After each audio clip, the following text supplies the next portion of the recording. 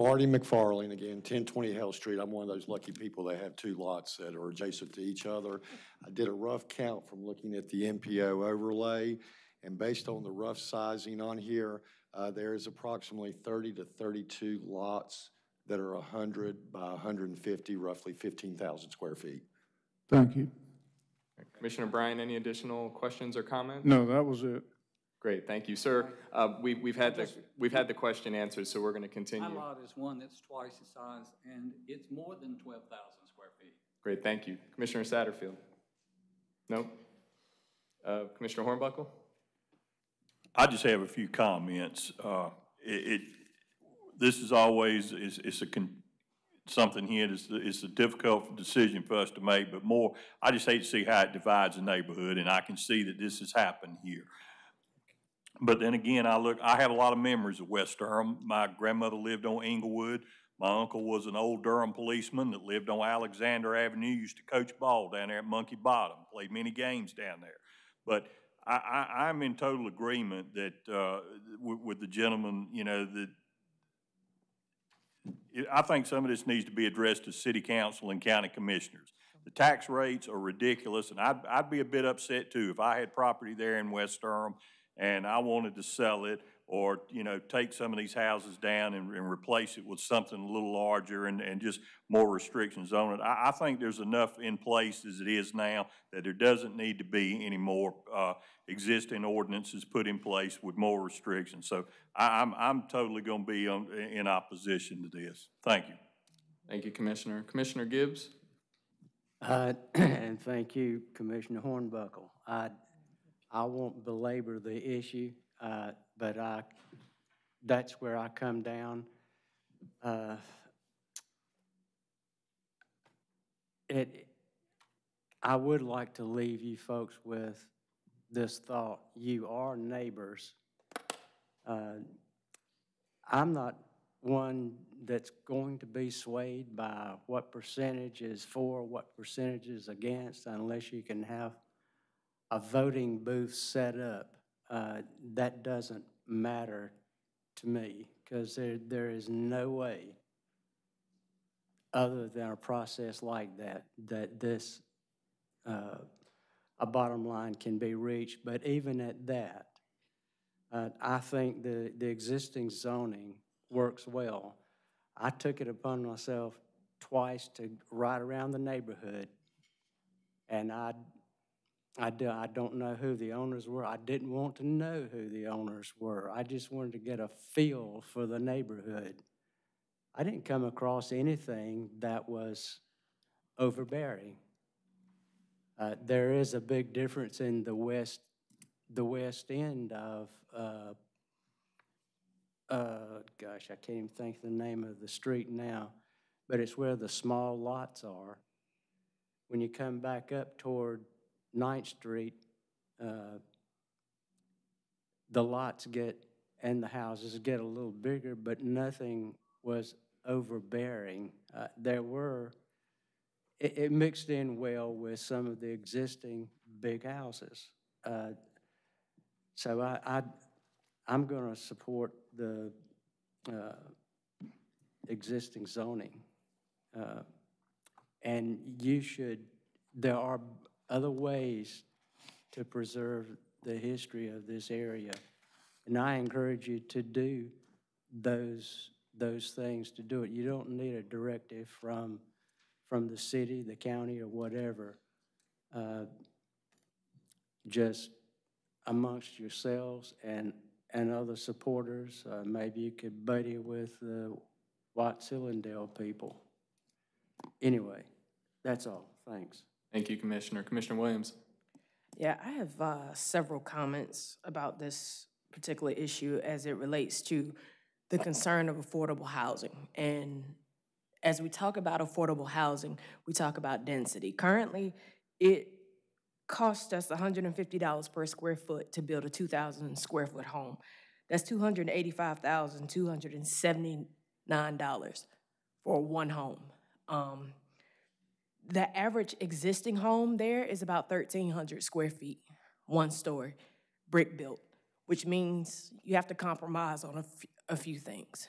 uh, excuse me, I'm very passionate about this because eventually I will be losing my home for a future land use map. So I have concerns that this issue has been made about affordable housing, and it's not. This is a control issue. This is about who wants to control what, when, and how. I respect the right of those that pay taxes that want to do what they want to with their land. But I also respect the right of neighbors that don't want to have accessory dwelling units where they can't enjoy their backyards because people live above them now and can look down. Um, they pay property taxes too. So I think a compromise has to be had. And unfortunately, this very strong issue is before the city government because you guys could not compromise. And I feel like right now, I'm against overbearing properties. Not in its entirety of the NPO as is written. I do believe it needs to be revisited greatly. Um, I think that as we talk about trees and tree preservation, um, it was addressed in terms of not necessarily just planting a, planting a tree, but trees were concerned with overpaving of backyards to make room for 1,500 square foot properties um, as it relates to a parking garage and an overhead unit. At 1,500 square feet, that's $150,000 for that particular unit, $3,500 per year, which would make the rent $291.66 a month. How many people in here actually think that you're going to charge that for that particular property? I would think it would be upwards of four times that. So let's not talk about affordable housing and density. Let's just make this about how we can coexist in Durham, which is my city, born and raised. Let's figure out how to get this done in the best interest of everyone here. That is my comment. Thank you. Any additional comments? Commissioner Satterfield? Uh, Thank you, Mr. Chair. I just wanted to point out that the um, NPO is an important tool. I think it exists for a reason. And despite um, some of the concerns, reservations, I respect everybody who's spoken here tonight to express those. I think what we're looking at here is a neighborhood that feels like it's under siege and increasingly under siege, and I think it's important for the stability of Old West Durham um, and for the strength of the community, even though there's conflict today, I'm hoping that that's not always going to be the case, that they need some tool like this that they can put in place to make sure that Old West Durham remains the unique community that it is now and for generations to come. So I'm going to be in favor of this. Thank you. Any additional comments from any of the commissioners? Commissioner Bryan, I would like to go ahead and make a motion that And- we move and- case, Yes. that we move case number TC one eight zero zero zero zero one, Old West Durham NPO, forward with a favorable recommendation. I'll s- second the motion, but, um, as it's presently written, I think it needs more work. So if we're going to move it as it's presently written, I will be voting against it. I would prefer if we can find a way to either defer it or even send it back to let them work on it some more. I don't know if that's possible. And if staff would like to comment on that, that's fine. Right, because I'm willing to withdraw the motion, provided, you know, there's an opportunity to do some additional work, because it, it definitely needs some additional work. Let, let's hear from staff, because Commissioner Bryan, I'm not even sure you actually seconded that motion. I with- with did your- second it, and I will withdraw my second. Okay, thank you. Mr. Bryan, because this is a text amendment and a zoning change, the UDO requires that you either um, vote on it or con- continue the item uh, within 90 days. We would strongly recommend that you vote on it tonight. It has been communicated to us by the Old West Durham Neighborhood Association Board, and they are welcome to correct me if I'm wrong, that they feel that they are kind of at the best compromise they can reach at this point, and there's not much more that they can do. Is that a fair assessment from someone from the board? Well, at this point, Then Commissioner Bryan, uh, Busby. Busby, I'm sorry. I kinda like a- Commissioner it's been Bryan. a- It's very It's been a long, it's been a long evening, yes. Do we not want to get a response from the association, or? I, I, I believe at this point, we've, we've been here, and it, it is, it is time for us to make our recommendation. Uh, Commissioner Hyman? Commissioner Busby. Um, I'd like to make a motion that we move case number Z one eight zero zero zero zero two. TC, The text amendment first? Yes. We have to do both? we have to do the text amendment first. Okay, text amendment first. Yes. Case number TC one eight zero zero zero zero one, Old West Durham NPO, forward with a favorable recommendation. Second. Properly moved and seconded. We will have a roll call vote. Commissioner Alturk, Yes. Commissioner Brine, No. Commissioner Satterfield, Yes.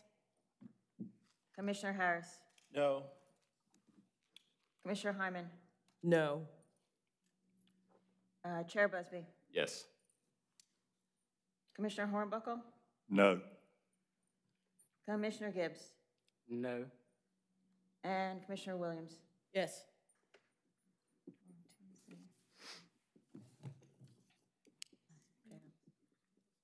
Motion fails five to four. And we will still have a motion on the zoning map change. Um, Chair Busby, I'd uh, like to make a motion that we move item Z one eight zero zero zero zero two, Old West Durham NPO, forward with a favorable recommendation. Second. Properly moved and seconded. We will have a roll call vote as well. And I just wanted to correct for the record, the motion passes four to five. No, it fails four. Four to five, sorry. Right. So the, Failed. it was, w- w- and, and for clarity, and the staff, make sure I have this right, and then we will vote on the, the zoning motion. This motion will be sent forward to the city council with a four to five vote against. So we are, the, the, the recommendation is to deny when this comes to the city council. It still moves forward regardless. We're an advisory body only, and we'll have the opportunity to make comments for the city council, just like all of you, and I encourage all of you to stay very active and engaged on this issue, as I know you will. Is, is that accurate, staff? Great, thank you. So we have a, a second motion on the zoning case. It was properly moved and seconded, and we'll have a roll call vote, please. Commissioner Alturk, Yes. Commissioner Brine, No. Commissioner Satterfield, Yes. Commissioner Harris, No. Commissioner Hyman, No? Commissioner Busby, Yes. Commissioner Hornbuckle, No. Commissioner Gibbs, No. and Commissioner Williams.